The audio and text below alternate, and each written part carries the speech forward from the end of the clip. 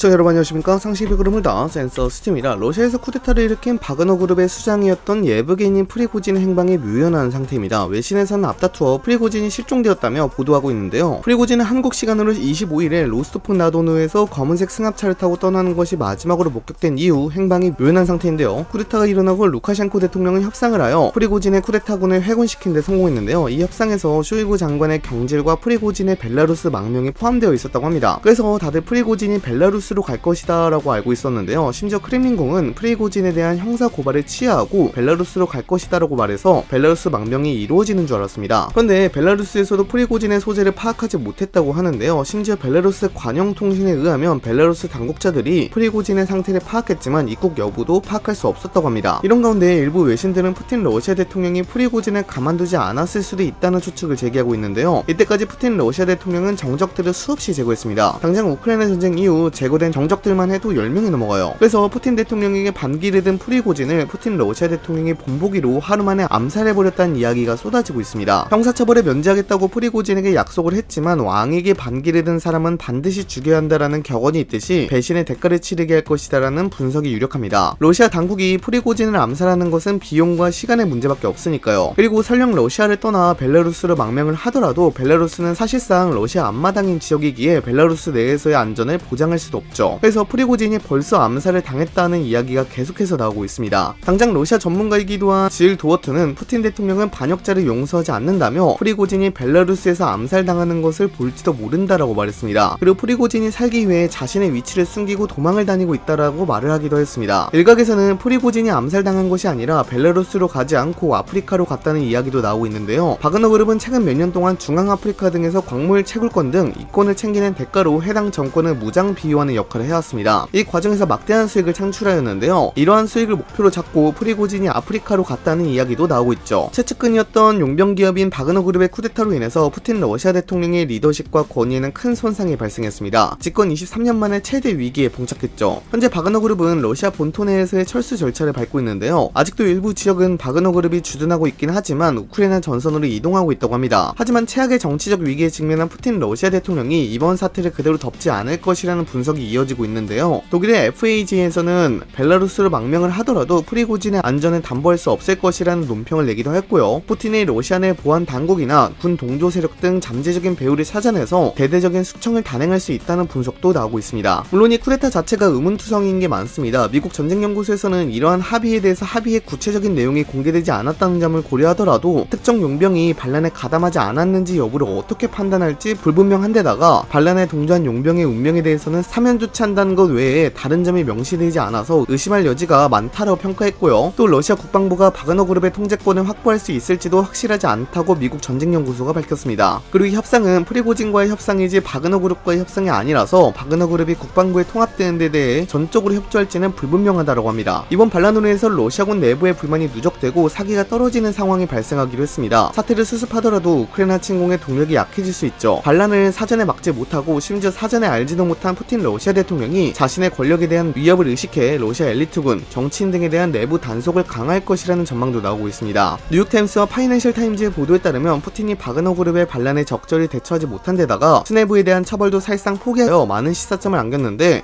대통령에 대한 반란을 일으켜도 용서받을 수 있다는 것이 밝혀졌고 대대적인 내부 개혁을 하더라도 집권 동력 약화를 피하기는 어려울 것이라고 진단했습니다. 바그너 그룹도 사실상 해체 수순을 밟을 것으로 보입니다. 바그너 그룹 전투원들은 러시아가 아니라 프리고진이라는 개인 에게 충성하는 사람들이기도 합니다. 프리고진이 떠나기는 했지만 이들이 국방부의 계약 요구에 따르지 않을 가능성도 있고요. 또 바그너 그룹이 존재하고 있는 이상은 푸틴 대통령에게도 계속 위협이 되고 있기에 대대적인 숙청 작업이 이루어질 것 같습니다. 그리고 모스크바를 향해 진군하는 과정에서 러시아 국민들이 바그너 그룹의 이름을 연호하며 지지를 보냈는데요. 반란군인 바그너 그룹과 지도자인 프리고진에 대한 대중의 지지는 크렘린궁의 불편함을 불러일으켰을 겁니다. 그래서 아마도 바그너 그룹이 해체되지 않을까 싶은데요. 물론 아프리카나 중동 지역에서 막대한 영향력을 행사하고 있기에 필요성에 따라 유지 여부가 결정될 것으로 보입니다. 바그너 그룹의 쿠데타로 인해서 정말 많은 것들이 바뀌고 있습니다. 일각에서는 푸틴 러시아 대통령의 종말이 다가오고 있다는 소리도 나오고 있을 정도죠. 이 쿠데타가 앞으로 어떤 영향을 줄지에 대해서는 좀 더 기다리면 곧 답이 나오지 않을까 싶습니다. 프리고진 행방이 묘연해졌습니다. 여러분들은 프리고진이 어디 있을 것 같나요? 댓글로도 달아주시기 바랍니다. 이상 영상 마치도록 하겠습니다. 감사합니다.